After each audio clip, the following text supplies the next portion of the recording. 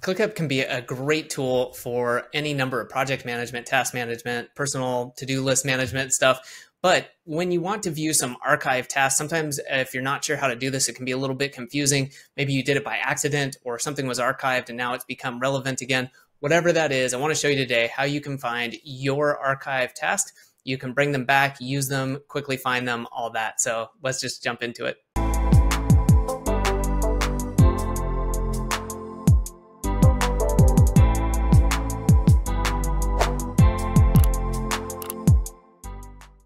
Okay, so here we are in ClickUp, and let's say that you want to check out your archive tasks, whatever for whatever reason that might be.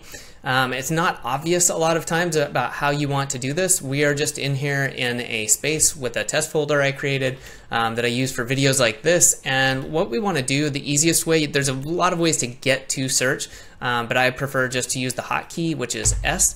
And if I click on that, we bring up here is our search uh, command. Now you can ignore all of this. This is just going to start bringing up things that it thinks you may want to see. A lot of it is your recent activity. And you can see we have a lot of options for things here to kind of filter through. Okay, we can ignore all of this and come over here to this last one, the little filter tab or filter icon. Kind of reminds me of a data filter in uh, Google Sheets or Excel.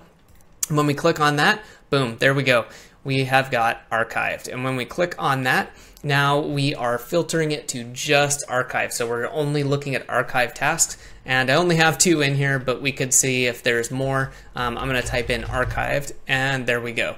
Uh, it's an archive task. I created an archived, and it pops up right there. So easy to do. Uh, if you ever need to find your archive task, remember again, press S or go to your search. Um, however you want to do that by clicking up here, come over to your filter, click on archive, run your search command, and go from there. If you have any questions, comments about how to do this, or any issues you had, let me know, leave a comment, and I'll get back to you.